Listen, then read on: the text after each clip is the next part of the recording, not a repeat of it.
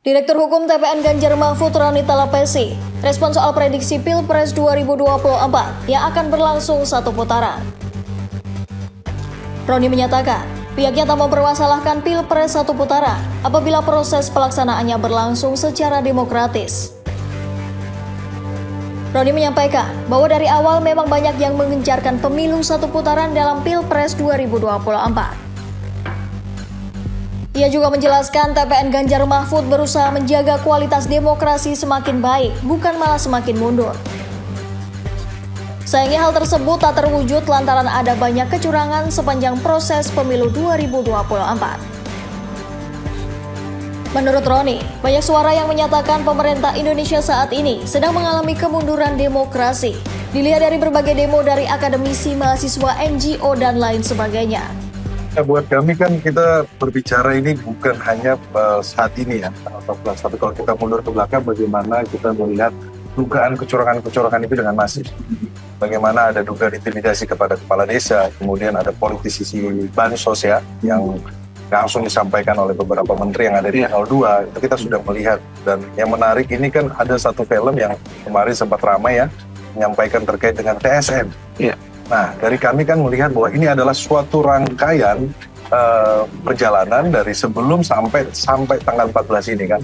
Dari kami ada beberapa catatan tentunya kami sedang mengumpulkan bukti dan dari awal memang kita sudah tahu lah banyak beberapa pihak kita mengencar-mencarkan soal satu putaran. Hmm, okay. Tapi kan kalau semua pihak sebenarnya. Kalau saya 01, 03 juga mintanya kalau, satu putaran. Kalau seandainya prosesnya ini merusak demokrasi menurut kami tidak etik ya. Okay. Tentunya dari kami konsen kami adalah kami menjaga agar kualitas demokrasi ini semakin baik.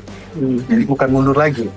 Kan sekarang banyak yang bersuara bahwa ini terjadi kemunduran. Bukan kami yang berbicara banyak ya dari akademisi dan beberapa teman-teman juga dari NGO yang menyampaikan dan tidak hanya di dalam negeri tapi di luar negeri kan tentunya kan ini yang menjadi evaluasi dari kami dan kami tentunya akan mempersiapkan langkah-langkah hmm. dari uh, eh, TPN dan tim hukumnya juga hmm. kita sedang menginventarisir soal data-data hmm.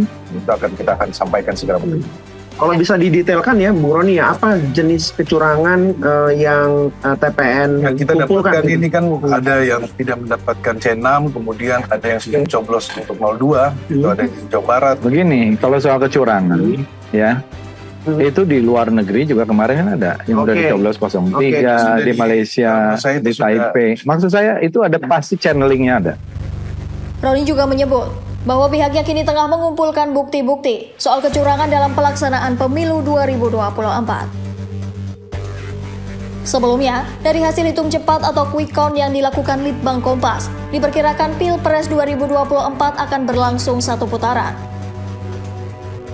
Berdasarkan hitung cepat Litbang Kompas di 2000 TPS sampel memprediksi bahwa data yang masuk 55,56 persen menunjukkan kestabilan oleh karena itu, pihak Litbang Kompas menyimpulkan prediksi bahwa Pilpres 2024 akan berlangsung satu putaran. Kesimpulan tersebut diambil setelah presentase data masuk hitung cepat Litbang Kompas mencapai 56,10 persen.